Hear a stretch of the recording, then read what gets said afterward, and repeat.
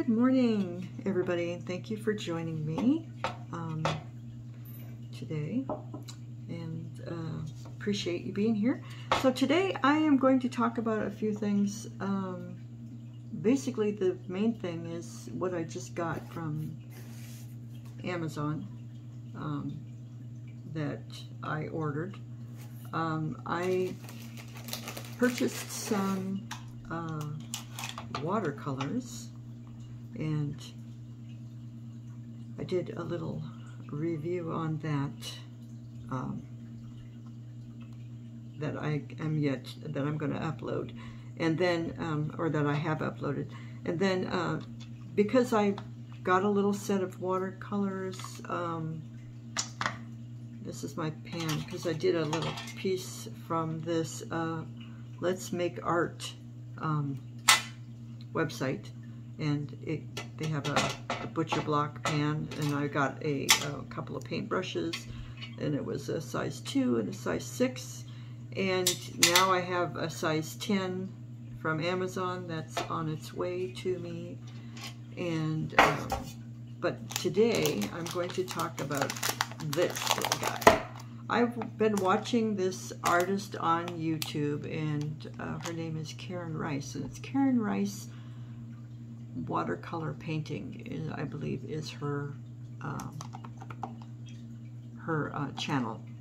But she, I noticed that while she was painting, I noticed that she was dipping her paintbrush uh, into this little container. So I just don't know what it was called. She didn't even, never, she didn't talk about it.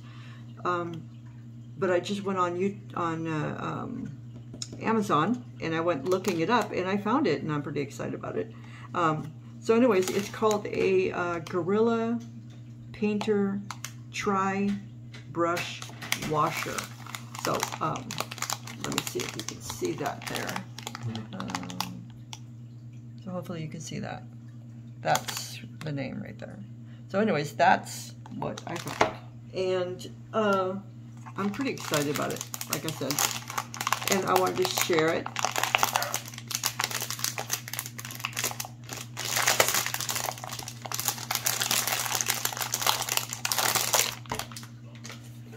I don't know how you guys are about crackling paper, but sometimes it makes me crazy. Um, so anyways, it, there, there's three of them, and they're all pocketed in, so it's really convenient for storage. Um, I'm assuming that it's for, you know, plein air or uh, travel painting, so you can hang it um, all three of them, I believe, hook to each other. Let me see if I'm correct, because I have not looked at this. They're all the same. So they all just hook together. And then you uh, can hang it. That's if you choose to hang it.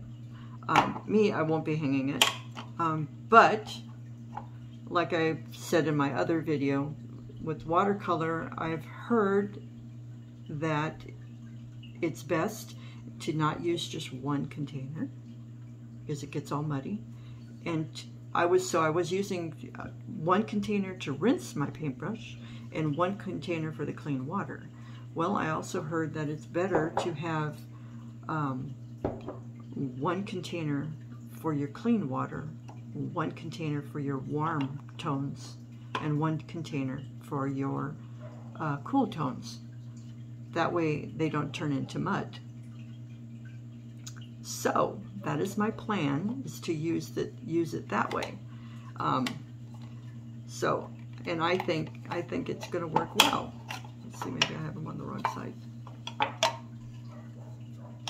But the, the the convenience factor, I think, is, is really great. Um, they uh, they look to me like they're gonna they're gonna be quite nice um, to use. There we go. So it works better on those sides. Um, it'd be nice nice to use it, and it's and it's small. I mean, if you're gonna do a big project, maybe you need that.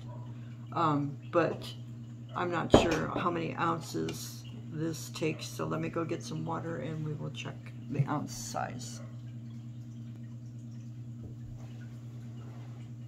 Okay, and this, um, let's say I just got a measuring cup, and I'm going to just pour it in the middle one because the middle one is the bigger of them. I just have two cups of water, and I'm not going to use all two cups of water, I'm sure, but I can measure it from here. So fill it about to right there. That's a good, that is about half, half a cup. So that's about, about four ounces, because it was, yeah, about four ounces in this in this one right here right now and that's you know a decent amount of water when you're doing a, a project unless you're doing something really big then you're gonna have to get bigger containers so anyways I just wanted to share this with you and this again is called the Guerrilla Painter Tri Brush Washer all right, and I got it on Amazon. And, um, shoot, I think I paid around 950 for it. Um, so I'm excited to use it. I think it's going to work well. It's stable, flat bottom, so it won't have to worry about tipping it over. And um, I just wanted to share this item with you. So um, I hope you enjoyed this review and uh, have a great day. And we'll talk soon. And just as I was finishing, I decided to take that top label off of that label, which is the original maker's label. And you can see the name right on it. And that is what the original label looks like. So if you are checking at other places like Hobby Lobby or um, some other arts and crafts supply stores. They even have the website listed up here. Um, let's see if I could get that in there for you. That is guerrillapainter.com and their phone number. All right, so enjoy and we'll talk soon.